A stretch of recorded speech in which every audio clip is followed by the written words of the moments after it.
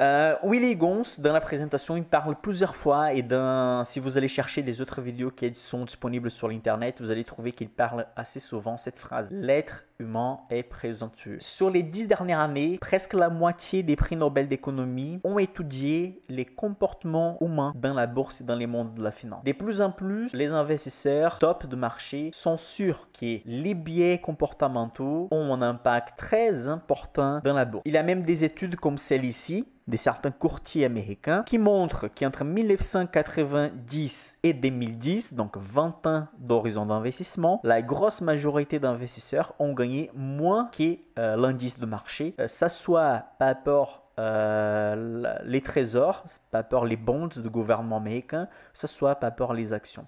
Donc ça montre en fait que la majorité d'investisseurs savent pas comment investir. Et pourquoi William Gonz dit l'être humain il est présomptueux? Parce que même les analystes financiers et les gérants, au moins la, au moins la moitié, n'arrivent pas à battre les marchés. Il y a une phrase typique que tout le monde parle, ouais, 90%, 90 des gérants du monde n'arrivent pas à battre les marchés. J'ai déjà fait une vidéo dédiée à ce sujet, c'est faux. La moitié arrive à battre les marchés, mais si on va ajouter les frais de management, pour les clients, environ 60-70% quand même n'arrivent pas à battre les marchés si on ajoute les frais. Mais la moitié arrive à faire bien son boulot. C'est normal. Je trouve que dans toutes les professions, on a une moitié qui travaille bien, l'autre moitié qui travaille pas bien. Donc euh, ça m'étonne pas. Euh, tout le monde, euh, nous parlons ici des êtres humains. Donc dans la finance, c'est la même chose. Mais parmi la moitié qui gagne du marché, qui sont les investisseurs qui gagnent les plus Qu'est-ce qu'ils font? Quels sont les comportements? Et c'est ça que je voudrais partager avec vous aujourd'hui.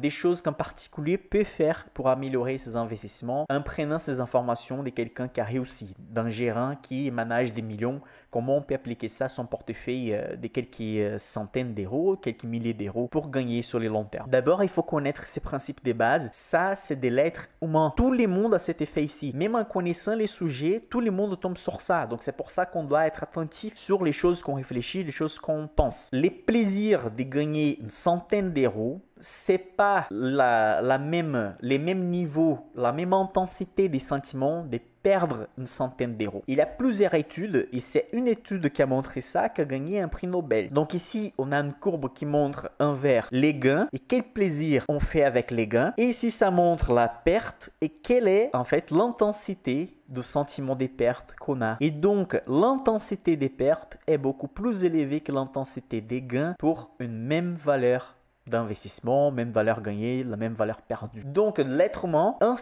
euh, par instinct en fait, on va toujours réfléchir du point de vue qu'on ne peut pas perdre on doit simplement garder ce qu'on a. Donc on va avoir beaucoup de mal à prendre un peu plus des risques. C'est pour ça que beaucoup de gens sont fatigués de boulot, ils, sont, euh, ils ont un salaire qui s'est pourri, etc. Et simplement, ils peuvent changer, essayer de changer, mais ils ne changent pas parce que voilà, je suis déjà habitué, je gagne toujours les mêmes montants. Si je vais changer de boulot, pas forcément je vais gagner plus, je vais recevoir les mêmes montants. Mais écoutez, quel est le pire scénario? Le pire scénario, c'est retourner dans, les mêmes, dans la même vie que vous vivez maintenant, peut-être. Avoir les mêmes salaires de la même société pourrie où vous avez une équipe qui est pas bonne, etc. Au moins avec les changements, de nouvelles opportunités peuvent apparaître. Donc l'être humain, il est quelqu'un qui souhaite toujours rester dans le même endroit, ne pas prendre des risques. Et s'il y a un peu des risques, il les évite. Et si on va étudier la vie de ceux qui ont gagné, de ceux qui ont réussi, toujours il y a un peu des risques. Ça peut avoir un peu des chances aussi, ça peut avoir beaucoup de travail, c'est normalement le cas, beaucoup de travail arrière, etc mais toujours il y a quelqu'un qui a pris un peu plus des risques. Donc cette courbe ici qui elle est faite pour euh, tout le monde, à chaque être humain, vous devez la connaître et toujours réfléchir. Pourquoi je suis en train de m'y limiter? C'est parce que j'ai peur. Est-ce que vraiment je dois avoir peur de faire ça? Si on parle des investissements, ici ça touche aussi les managements du portefeuille. C'est pour ça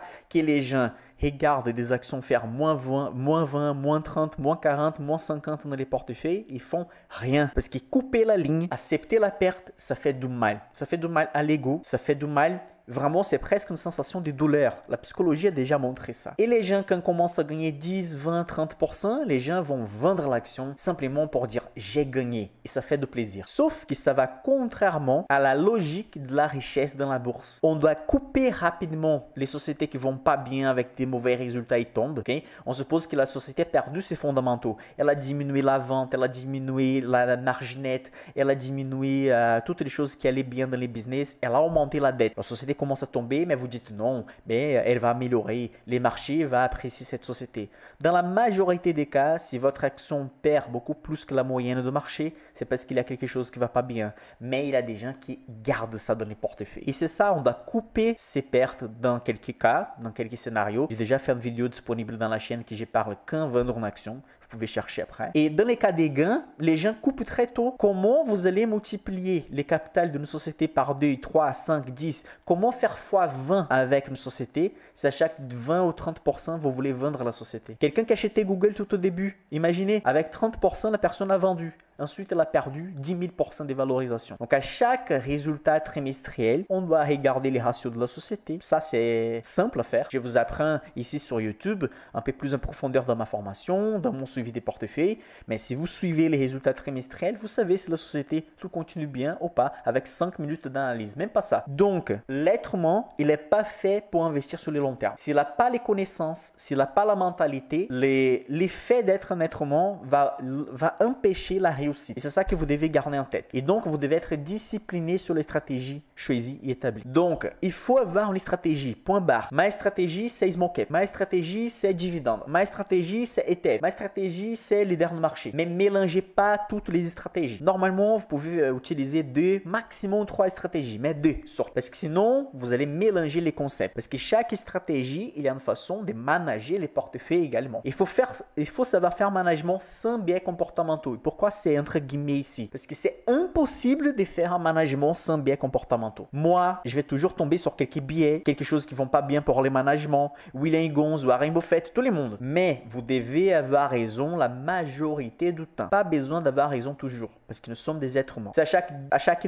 à chaque dizaine de décisions, à chaque dix décisions, vous prenez des bonnes décisions sept fois. Excellent. Votre portefeuille déjà va réussir sur le long terme. Même si vous faites moitié-moitié, 50% des bonnes décisions, 50% des mauvaises décisions mais les 50% des bonnes décisions sont vraiment des décisions qui vont permettre de choisir vraiment une bonne société qui peut se multiplier par plusieurs fois. Là, vous êtes largement gagnant, même avec une décision, même avec 50% des bonnes décisions et 50% des mauvaises décisions.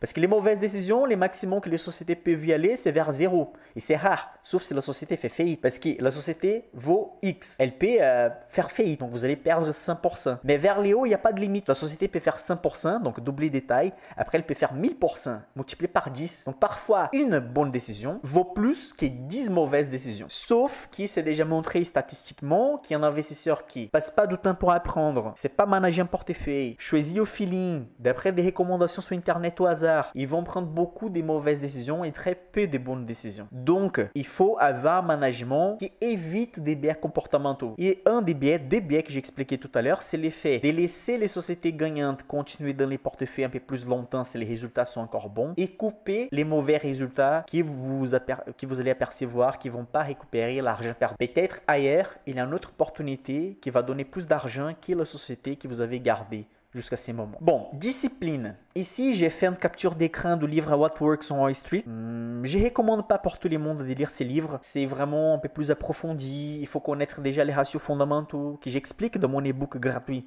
Donc, euh, vous devez commencer surtout euh, sur mon ebook. Parce qu'ici, c'est vraiment faire pour, les, pour les analystes. Et c'est une des sources que William Gonz utilise pour bâtir son portefeuille. Et ici, dans les chapitres des small il dit Parmi toutes les stratégies small il y a deux qui sont euh, des stratégies qui fonctionnent très bien sur le long terme. Acheter un portefeuille avec les sociétés sous-valorisées par rapport les chiffres d'affaires, donc PSR, c'est pas rapport les chiffres d'affaires, et acheter les sociétés qui sont sous-valorisées par rapport les price to cash flow, donc l'argent Je vais traduire ça pour les débutants. Ici, il dit, parmi les stratégies des small cap, celles qui fonctionnent mieux sur les long terme, ce sont les stratégies où vous allez acheter des sociétés qui sont très rentables et sous-valorisées. Sous-valorisées par les prix to cash flow, price to cash flow. Ça veut dire la société, elle possède beaucoup de trésoreries par les concurrents. Pourquoi que ça, c'est important? Imaginez des petites sociétés, société des 100 millions. Il y a une société qui n'a pas de cash à côté. L'autre société a 30 millions de trésoreries à côté. Évidemment que pendant les baisses de marché, évidemment que la société qui a de la trésorerie,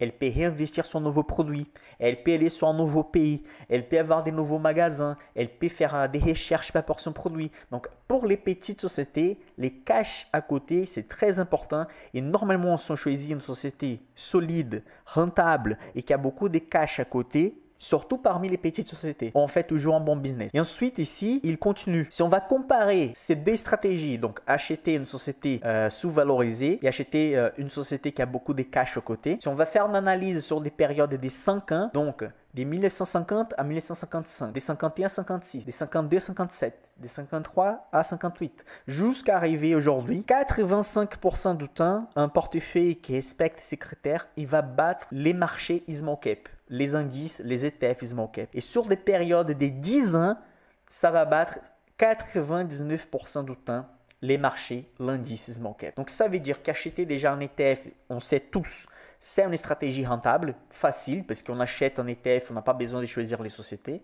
Mais à partir du moment que vous décidez de choisir vos sociétés, vous devez avoir une stratégie gagnante. Une stratégie gagnante se passe par connaître les ratios fondamentaux que vous allez apprendre dans mon ebook gratuit euh, que je vais montrer tout à l'heure. Si vous connaissez les ratios fondamentaux, vous savez déjà comment choisir les meilleures sociétés de marché. Au moins dénicher quelles sont, quelles sont les sociétés qui sont pas bonnes. Et si vous achetez des sociétés sous-valorisées et bien rentables, vous augmentez à plus de 80% la probabilité de battre les marchés sur 5 ans et 99% la probabilité de battre, de battre les marchés sur une période de 10 ans. Dans mon, dans mon site, club valeurs.com slash euh, downloads vous allez trouver les liens dans les chats et dans la description de la vidéo également. Vous avez les guides d'investissement 2023. J'explique les principes des bases, les fondamentaux des sociétés, les ratios boursiers, la marge nette, les niveaux d'endettement, comment avoir de cash à côté. Vous allez apprendre à trouver les meilleures sociétés. Je montre ça. C'est ça que c'est bizarre. Hein? Il y a des formations dans les marchés euh, que vous allez trouver par 500 euros, 1000 euros qui expliquent pas la moitié des choses que j'explique gratuitement dans ces guides. Je sais pas pourquoi quand, quand on parle que quelque chose est gratuit